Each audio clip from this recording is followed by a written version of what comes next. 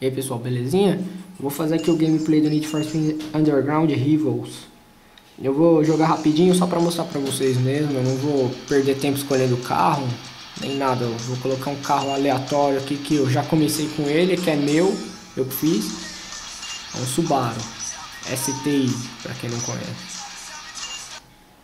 Pronto.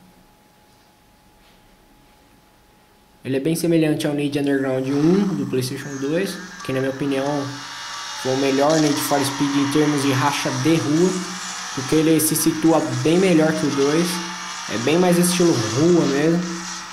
O 2 tem aquele negócio de correr em avenida, em ponte, esses negócios. Eu não gostei não. O 1 é totalmente focado em rua. E esse aqui também. Eu vou tentar não cometer barbeiragem, porque quando eu jogo filmando, eu olho pra câmera e olho pro PSP ao mesmo tempo e falo, aí eu me desconcentro. Então, o ponto meio fraco desse jogo aqui é que pra caprichar nos gráficos, né, eles tiveram que diminuir algumas coisas. E uma dessas coisas foram os carros da rua.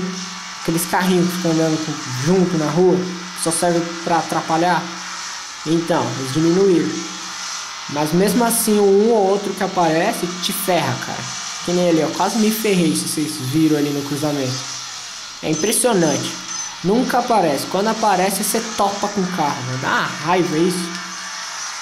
Mas tudo bem, acontece. Esse Need for Speed aqui, ele veio depois do... Ele veio praticamente junto com o Underground 1, ele de 2004. 2003 ou 2004, não me lembro muito bem. E ele foi o primeiro Need for Speed a ser lançado para o PSP. Tanto que ele ajudou até nas vendas do PSP quando o PSP saiu. Alavancou um pouquinho, hum, quase. Que pra mim é um, se não for o melhor, é um dos melhores do PSP na minha opinião. É, é bem caprichado. É que olhando pela câmera, hum, cacilho. Olhando pela câmera, Olha o cara, mano. Aí ganhei, foda-se. Então, olhando pela câmera, ele.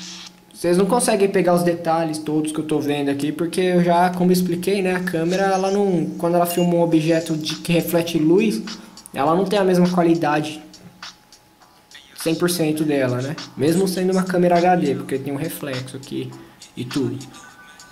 Mas eu vou dar uma aproximada no carro aqui rapidinho. Só para vocês verem que ele é bem detalhado mesmo. Eu vou pegar ele aqui e vou rotacionar ele. Ó, vou chegar perto. Vocês veem que tem o símbolo do Subaru ali, ó. Perfeito. Ali tá escrito STI. Aqui não dá pra vocês verem, mas aqui tá escrito STI, aqui onde eu tô com o dedo perto. Olha aí. Impressionante. Aqui também está escrito STI. Subaru, é tudo em relevo, tá? Quando vocês virem ele de lado, vocês verem que tem relevo no, no detalhe. Então, por isso ele também é pra mim um dos melhores, que é o mais caprichado. Ele veio praticamente, como eu falei, junto com o Underground 1, então as músicas dele são a grande parte tocam no Underground 2 do PlayStation 2. Que nem tem gente que fala, nossa, esse, esse jogo quando vê, né, quando eu deixo jogar, quando pega, fala, nossa, esse Need for Speed ele tem as músicas do Underground 2. Não, ao contrário, o Underground 2 que tem as músicas dele, porque ele veio primeiro, ele nasceu primeiro que o 2. Mas é isso aí, já acho que já deu pra vocês verem o jogo. Então eu vou desligando aqui, beleza? Depois eu vou tentar regravar o Gran Turismo, que ficou uma droga a gravação, eu gravei com meu celular. Eu vou tentar regravar decentemente. Eu não vou regravar agora não, porque o meu cartão de memória ele só tem 2GB e 2GB não cabe merda nenhuma de jogo. Aí depois eu substituo o jogo. Porque pra mim nem compensa mais comprar um cartão maior. Eu tô com esse de 2GB já tem 4 anos, então... Ah, pra quem for perguntar aí, se alguém perguntar... O PSP é modelo 3000, tá? Ele é desbloqueado, lógico, né? Vocês estão vendo que ele é desbloqueado. Ele é desbloqueio permanente. Eu posso desligar ele. Opa, errei o lugar.